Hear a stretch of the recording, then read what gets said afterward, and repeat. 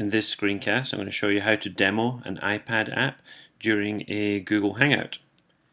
To get started, you need to have either Reflector or AirServer installed on your Mac or PC in order to display your iPad on the screen.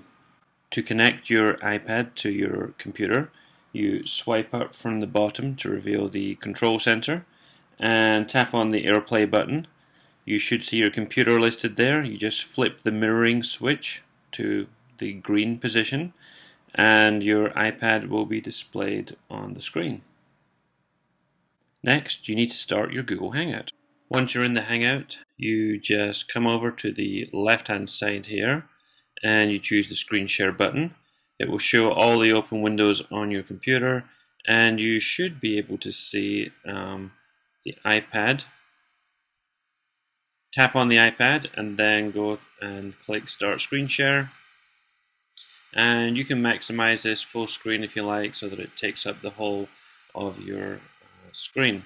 Then you just carry on as normal and demonstrate the app that you want to demonstrate. And you can show that very easily. This all gets recorded during your hangout. And once you're done all you need to do is to close your iPad window come over to your Google Hangout and you will find that uh, the screen share has been stopped.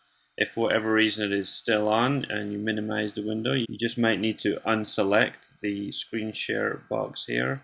But otherwise, that's how you demonstrate iPad apps inside a Google Hangout.